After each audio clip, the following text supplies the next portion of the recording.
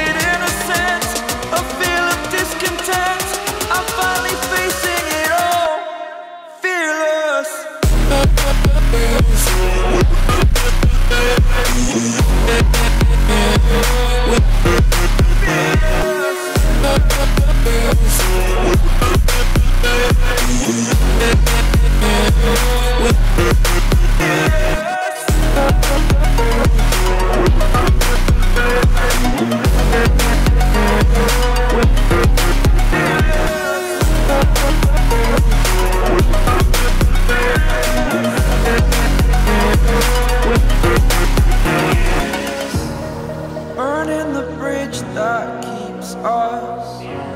I'm here and I'm feeling fearless. Exaggerated, that's what you assume. The story's over now, I must conclude.